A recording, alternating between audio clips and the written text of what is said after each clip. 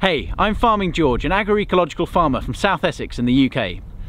Now agroecology is a word which is rapidly entering the farming vernacular, yet it risks being misunderstood and oversimplified.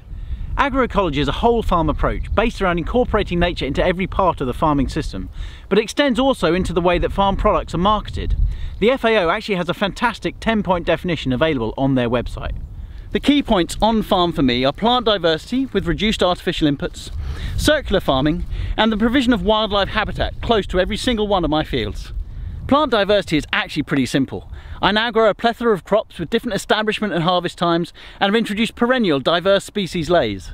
These leys are grazed by cattle, converting plant carbon to dung and ensuring that a huge wave of ecology and nature can exist and flourish.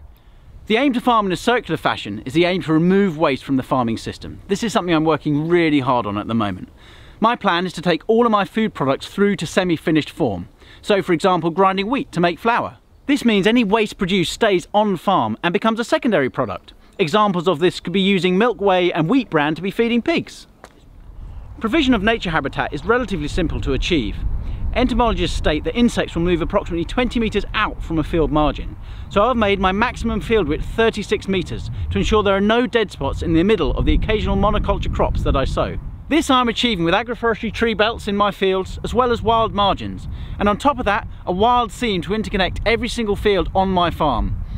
This is going to create a farm where between 30 and 40% is in permanent organic cover.